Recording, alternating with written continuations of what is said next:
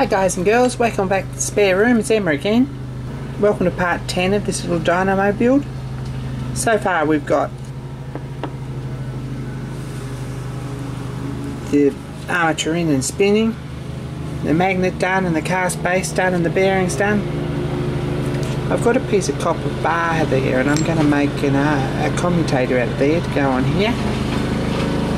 This is 22 millimeter copper bar and tube would probably have been a smarter idea in hindsight but this is what we've got. We're going to bore him and part a piece off to make a piece of tube.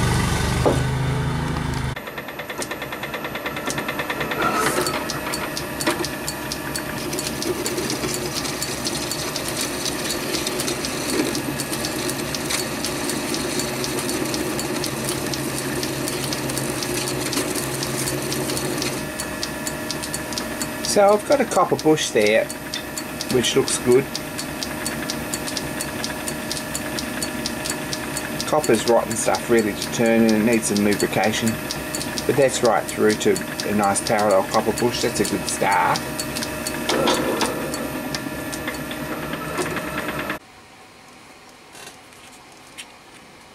So there we go. First idea was to make some little step collars like this and solder them against a step in the end. Just to key into the epoxy. That was yeah it's not going to work. So mostly because we've got these big bearing surfaces on here and it's going to short out. So that's not really the answer. I think the best thing we can do and I've bored that just as a cylinder probably the best thing we can do is drill this and put four, four holes in it and rivet four little we'll put this on a James Green pad here. Make four little rivets. These are a bit oversized but something that looks something like this. To go through the copper tube and rivet on the outside. And they'll key into the epoxy nicely and they're not going to worry as far as conductivity goes and they're not going to be in the way. So what I'm going to do is make up four of those. Something probably five or six millimeters diameter and to go in a hole that's we might even drill these holes in here first and make them fit in the holes give them a bit of a countersink on the outside and rivet them over. And we might silver solder them in so they don't move. And if we ever have to polish up this commutator on the outside then we're not going to worry anything. So that's where we go. I've got a bit of brass rod. And I might make up just turn something up. Put a groove in them with a parting tool. Machine the other end down and part them off. I reckon we probably need eight of them. We've got, we have a look, two shells with a split in each side.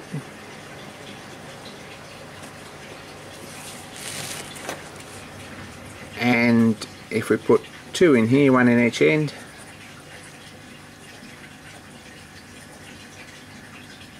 that looks like it's going to work and then we can split them afterwards.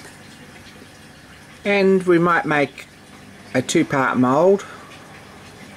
Basically a piece of aluminium to go in the end here to, to hold it all together and a tube to go over the outside and pour in with epoxy. So that's the plan. Let's get in and do it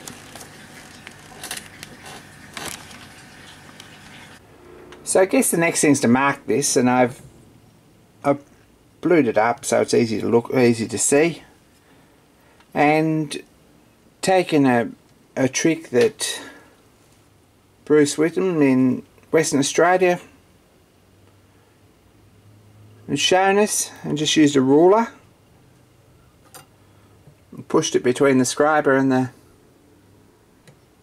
and adjusted it so that the ruler is nice and vertical and that should be the centre.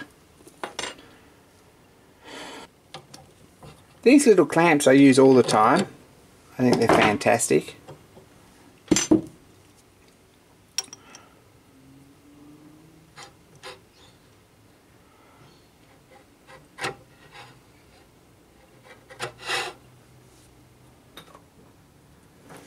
And I figured if we got a piece of tool steel and sat there,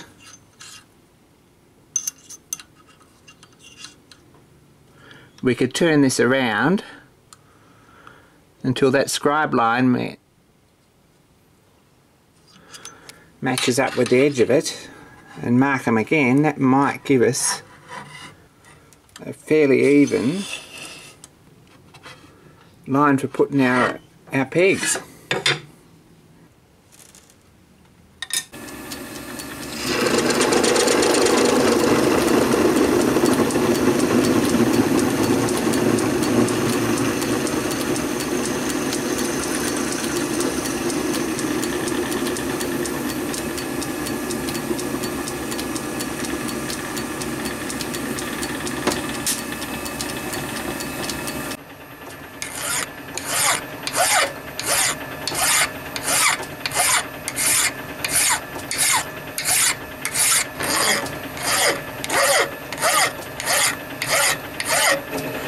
So that's four of those. And I've just drilled these with a centre, centre drill so they've got a little bit of a countersink on one end, on the outside.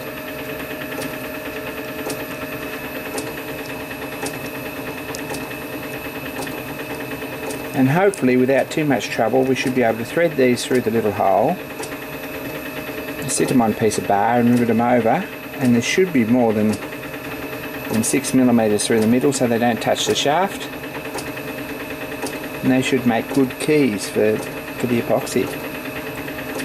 So next job's to rivet them up.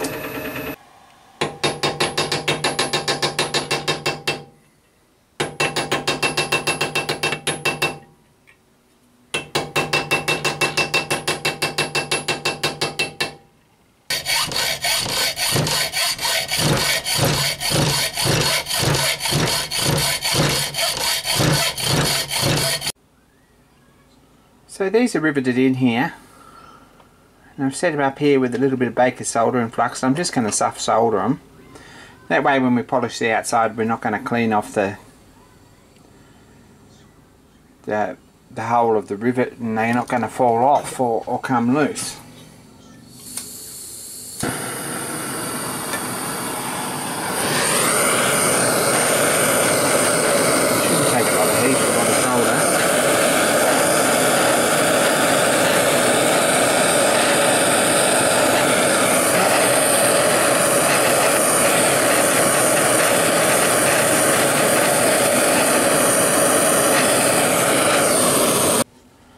There's probably way too much solder.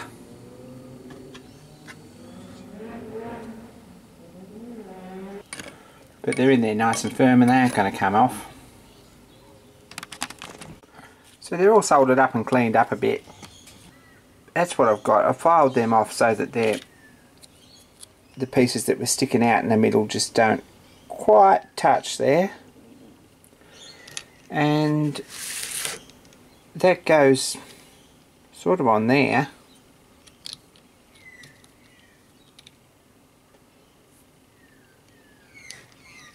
Probably quite a bit shorter by the time it's finished.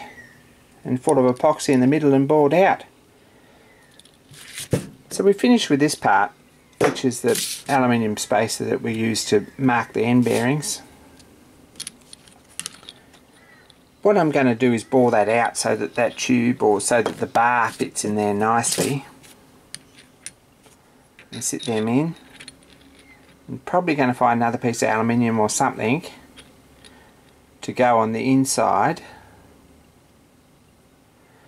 to give this a little bit of a mask back here and to hold it all together and we should have something that's ready to cast.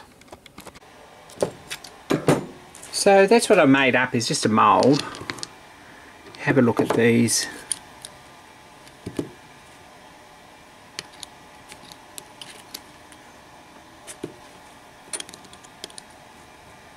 sit them in here.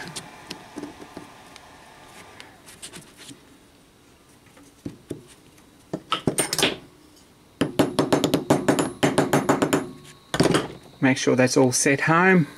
With the equal gap on each side. And that's probably ready to pour I think. That should give us a pretty good little armature I hope. So the biggest job here is going to be finding something clean to, to mix it in and to measure the equal parts.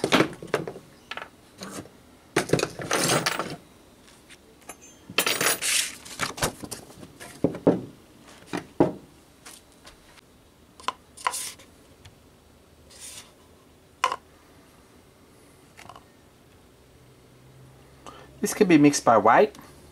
And part B is 90. 90 grams to 100 grams. We've got 9 grams of part A. Like that. It's only 8.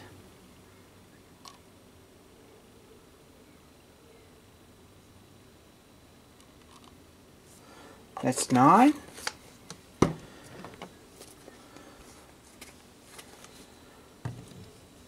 Sorry, we need 10, don't we? That's 10 grams of part A. And in the other cup, 9 grams of part B. There we go. And a plastic spoon to mix them together.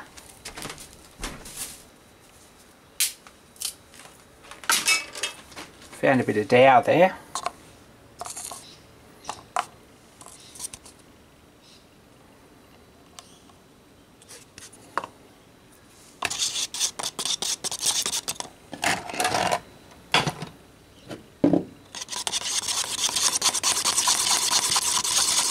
According to the sheet we've only got about 15 minutes work time so we want to be pretty quick about this I think.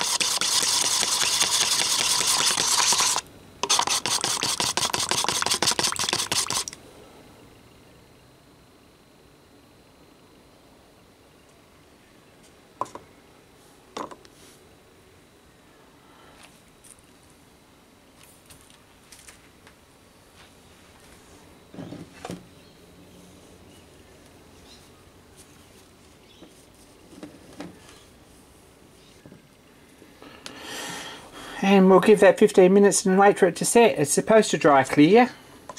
We will see about that. I mixed up a little bit more than we need and I was going to grout the magnets in with this as well and probably the bearings but I think we'll leave that until next time round and everything's ready to go. I think that's just starting to release there. It's starting to harden up there.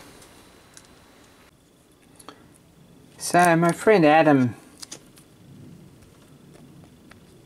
so I said, how are you going to demold it? And it was an excellent question. But that part of the mold's come out okay. I'm not sure about knocking that out of there. Probably it shouldn't be very difficult to move. If we turn this upside down,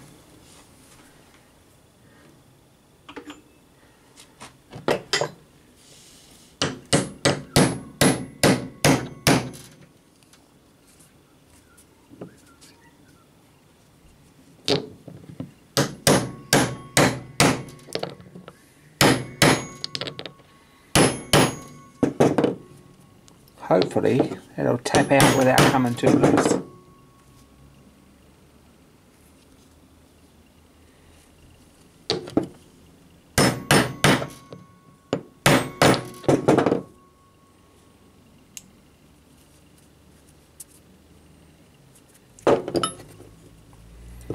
Probably I think we need to use that piece of copper as a punch and put him in the vise and give him a few taps. Anyway, the manual says that that's probably going to take seven days at ambient temperature to cure properly and I really want to do that before I machine it anymore. So we're going to call this video done uh, and make it part one of the commutator build and we'll get on and make some other bits during the week and next weekend I'll come back to this and I'll mount him on the shaft and get him right. So thanks for watching guys, more soon and don't forget to like and subscribe and all that stuff.